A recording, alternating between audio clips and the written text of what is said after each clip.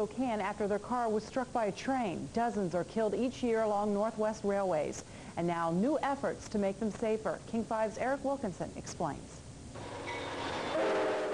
It's a fatal attraction, teenagers and railroad tracks. Despite clearly posted warnings, many still come to walk the tracks and tempt fate. The temptation too often leading to tragedy. In the state of Washington, in the last two and a half years, there's been 35 people have died walking on the railroad tracks.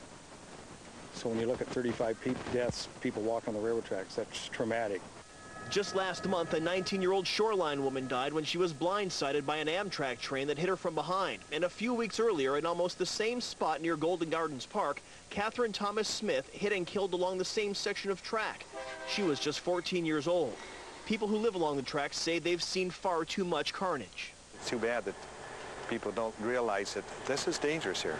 The easy thing is just stay away from the railroad tracks. Yeah, definitely. Now, hoping to raise awareness of the issue, some are taking the message of railroad safety to the people. There's been some people that were killed on the railroad track, and, and we need to make... Community activist and Seattle mayoral candidate Caleb Schaber hoping his hands-on campaign will convince people to think twice before treading into harm's way. It's the same thing if people would run out into I-5, you know, it's...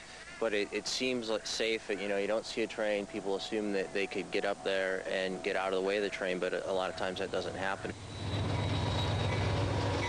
Eric Wilkinson, King 5 News. She enjoys her Boise Beach.